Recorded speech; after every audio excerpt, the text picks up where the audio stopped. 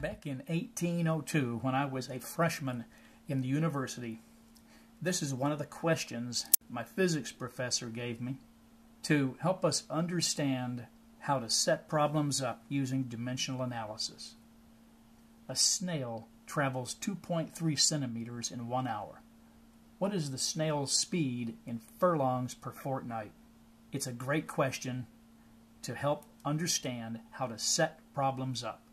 We know because our snail traveled 2.30 centimeters in one hour that the speed of our snail is, in fact, 2.30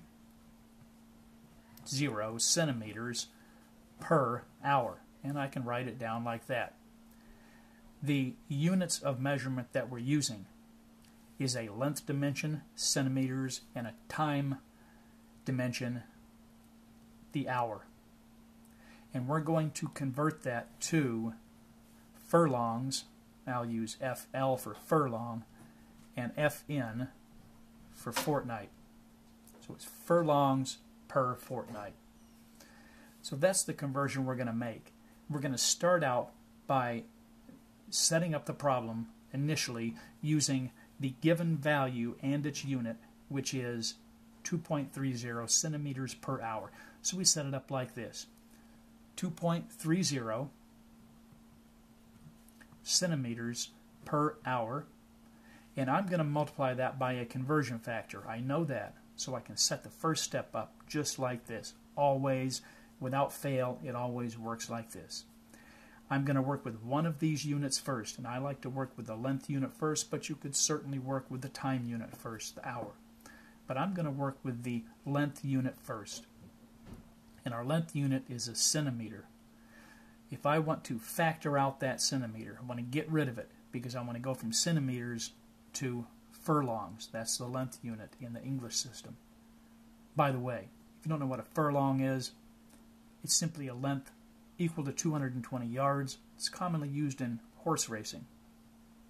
A fortnight is two weeks.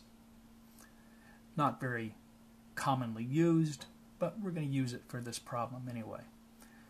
So we have 2.30 centimeters per hour. I'm going to factor out the centimeter and go to some unit that is in the English system of measurement. So the conversion factor here is going to bridge between the metric system, where I'm going to have centimeters, and the English system of measurement, and I'm going to take this to inches. Why? I picked that is simply because it's one of the conversion factors that I know, I remember. There is 2.54 centimeters per inch. It's a conversion factor that almost every physics student understands. If I wanted to, I could go from directly from centimeters to uh, yards, but I have no idea how many centimeters are in a yard, and as a matter of fact, I really don't care. It just adds a few more steps if I start with centimeters and go to inches. Anyway, this conversion factor, this first one I'm gonna, that I'm going to use, bridges between the metric system and the English system. So I'm going to set this up without putting any numbers into this initially. I'm going to set it up with the, with the uh, conversion factors just using the units and I'm going to go through it and make sure everything is going to factor out properly before I put the numbers in it just to show you how it works. So I'm going to go from centimeters to inches. Now remember, I'm heading towards furlongs, hopefully. And I'm going to go from inches. Now I put that underneath this division line because I want it to factor out. So I'm going to go from inches to yards. And I can go from yards to furlongs because I know how many yards there are in a furlong. Now that finishes the work that we're going to do with the length dimension, centimeter. That should convert centimeters to furlongs. The next thing we're going to do is we're going to work with the time dimension.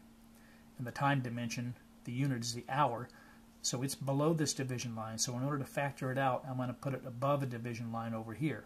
So I'm going to put hours up there. Now I want hours to go to fortnights, which is two weeks. So that's the direction I'm heading. So first of all, I'm going to convert hours to about days. I know how many hours are in a day, and I'm not going to be precise. I'm just going to say there's 24 hours in a day. I know it's a little, it's not exactly that, but that's what I'm going to use.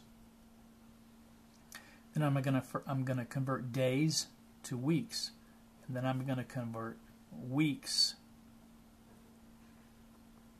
to fortnights, just like that. Now, if I go down through here, I can see that everything is going to factor out perfectly. Centimeters factors out, inches is going to factor out, yards is going to factor out, furlongs does not. We know that hours factors out, days factors out, weeks factors out, and fortnights does not. So I have the problem set up, other than the fact that I haven't put any numbers in here yet. Well, let's go ahead and do that. I know that 1 inch is equal to 2.54 centimeters. I know that uh, 1 yard is equal to 36 inches.